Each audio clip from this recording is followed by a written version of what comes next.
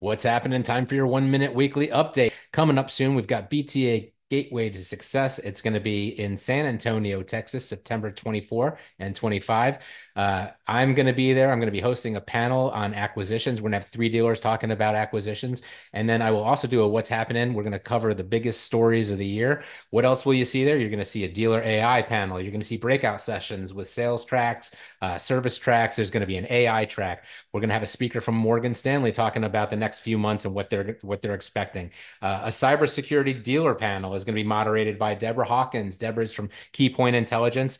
A uh, lot of great sponsors are going to be there. I'm going to run through the ones that sponsor our publication: uh, Xerox, Sharp, ACDI, ECI, Brother, EcoPrintQ, Great America, Arcoa, IBPI, FP Mailing, Keypoint Intelligence, Ricoh, and Toshiba are all going to be showing there. There will, of course, be other sponsors there, other companies you can meet.